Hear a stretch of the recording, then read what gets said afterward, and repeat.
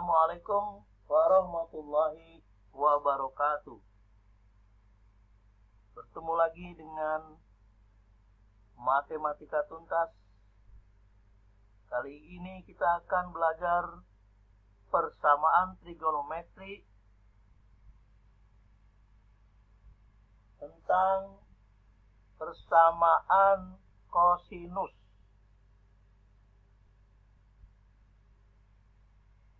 Sebelumnya, bagi yang belum subscribe, silakan di subscribe.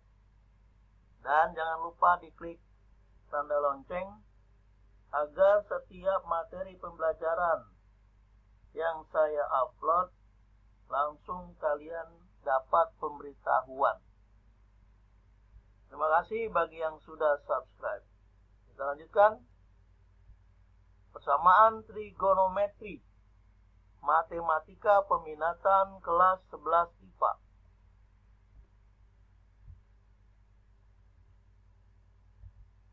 Nah, ini nilai perbandingan trigonometri sudut istimewa yang kalian harus ingat karena ini menjadi bekal kalian dalam menyelesaikan persamaan-persamaan trigonometri. Kita akan mempelajari tiga persamaan trigonometri yaitu sin X sama dengan sin B ini sudah kita berikan contohnya untuk sinus. Kemudian kosinus nah ini belum. Nah pada saat ini akan kita berikan contoh bagaimana menyelesaikan persamaan trigonometri bentuk kosinus. Kemudian di waktu yang akan datang akan kita pelajari tentang persamaan tangan Nah, sekarang kita akan mempelajari persamaan trigonometri berbentuk cos X sama dengan cos P. Kosinus itu positif di kuaran ke-1 dan ke-4. Ya. Di kuaran ke-1 dan ke-4. Sehingga bila cos X sama dengan cos P, maka cos X sama dengan P. Ini di kuaran ke-1-nya atau X sama dengan min P. Ini di kuadran keempatnya. Jadi contoh, kalau cos X sama dengan cos P sama dengan kalau cos X sama dengan cos 10 derajat, berapakah X-nya? Berarti X-nya 10 atau X-nya min 10. Kemudian ini ditambah dengan uh, periode dari kosinus. Periodenya 360 ditambah dengan kelipatan 360 Kanya ini bilangan bulat, bisa min, bisa nol, bisa plus. Nanti ini akan kita gunakan tergantung dari batas X yang diminta oleh soal. Nah, untuk lebih jelasnya, marilah kita perhatikan contoh untuk persamaan trigonometri khususnya bentuk cos. Ya. Tentukan himpunan penyelesaian cos 3x sama dengan 0,5 pada interval 0 derajat sampai 360 derajat. Cos x sama cos 3x sama dengan 0,5.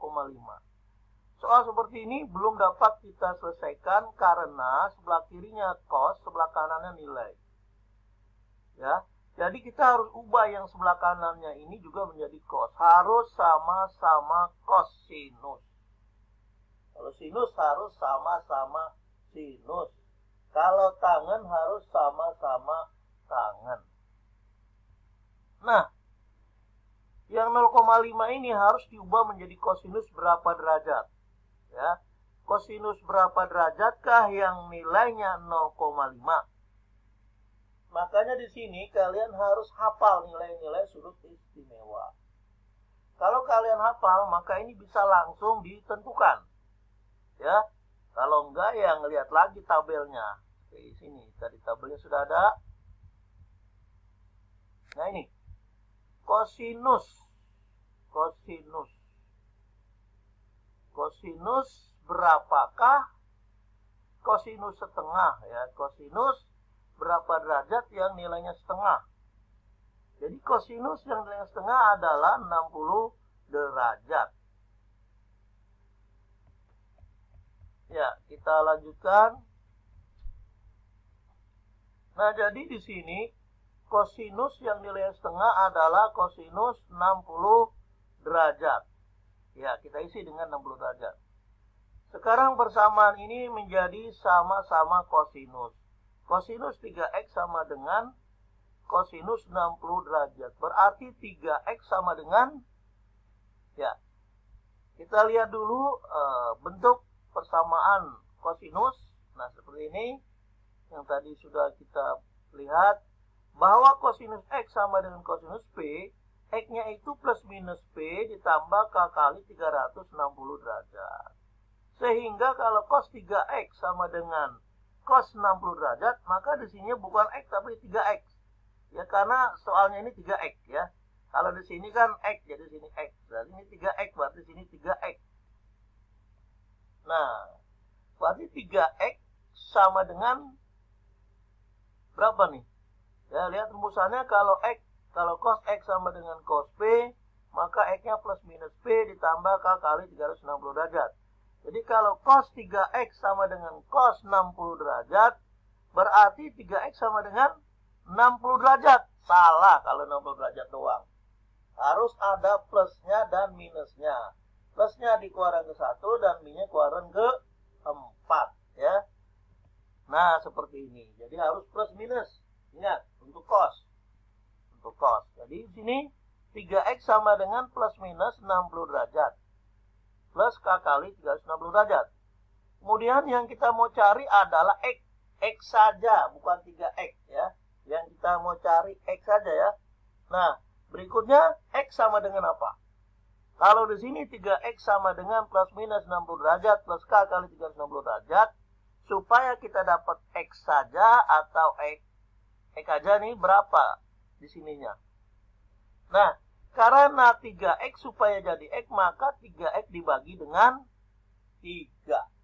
Oleh karena itu, ruas kiri dan ruas kanan seluruhnya, semuanya harus dibagi dengan 3. Sehingga ini 3X bagi 3 hasilnya X. Plus minus 60 derajat dibagi 3 hasilnya plus minus 20 derajat. Nah, 360 derajat juga ini dibagi.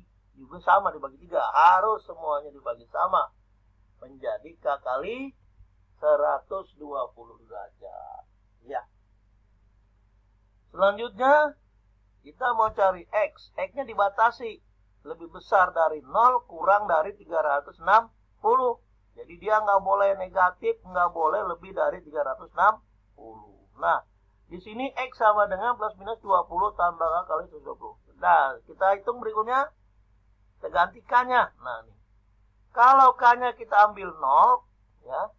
Kenapa K-nya kita kita nggak ambil min 1? Sebenarnya boleh aja min 1 ya. Sebab kalau kita ambil K-nya min 1, dia keluar dari batas ini ya. Ini kan kalau kita min 1, min 1 kali 120 kan min 120. Nah, kalau 20 ditambah min 120 kan min. Min 100 derajat nggak mungkin. Tidak memenuhi syarat. Atau min 20. Min 120 jadi min 140 juga tidak memenuhi syarat. Makanya yang K sama dengan min 1 walaupun boleh aja kita ganti min 1 tapi tidak memenuhi syarat yang diminta soal ini. Ya, makanya kita ambil K sama dengan 0. Kalau K sama dengan 0, ya ini kan K-nya kita ganti 0, berarti ini kan 0. Kali 120 derajat adalah 0, sehingga tinggal plus minus 20 derajat. Sehingga nilai X adalah plus 20 derajat atau min 20 derajat. Jadi, untuk K sama dengan 0 kita ambil ini. Lalu apakah ini dua-duanya nanti kita pakai? Tentu saja tidak. Tergantung batas interval ini. Bagaimana yang min 20? Memenuhi syarat atau tidak? Tentu saja yang min 20 ini tidak memenuhi syarat, nanti tidak kita pakai. Ya, jadi yang dipakai hanya 20 derajat. Ya, bagaimanakah kalau kita lanjutkan K-nya sama dengan 1? Nah, kalau K-nya sama dengan 1, berarti kan K-nya 1 kali 120. Berarti di sini plus minus 20 derajat ditambah 120. Ya. Kalau kita ambil yang plus saja dulu, berarti 20 derajat ditambah 120. Hasilnya 140 derajat. Yang min sekarang, itu kan tadi baru yang plus 20. Sekarang kita lanjutkan dengan yang min. Jadi atau juga atau uh, kita ambil ini yang min, min 20 tambah 120 jadi sama dengan 100 derajat. Ya. Sama dengan 1 kita mendapatkan 140 derajat dan 100 derajat. Kita lanjutkan. Untuk K sama dengan 2. Untuk K sama dengan 2, berarti ini 2 kali 120, 240. Ya. Kita ambil yang plus 20 derajat, berarti 20 derajat ditambah 240, jadi sama dengan 260 derajat. Atau kita ambil yang min. Nah, sekarang kita ambil yang min 20. Nah, kalau yang min 20 tambah 240 derajat sama dengan 220. Jadi untuk K sama dengan 2, kita peroleh kita peroleh 260 derajat dan 220 derajat. Berikutnya untuk K sama dengan 3. Nah, kalau K sama dengan 3, ini kan 360 ya. 3 kali 120, 30. Kita langsung aja. Dua, kita ambil yang plus 20 tambah 360 sama dengan 380. Atau kita kalau kita ambil yang min 20 derajat, berarti min 20 ditambah 360 yaitu 340. Bagaimanakah kalau K-nya kita ambil 4?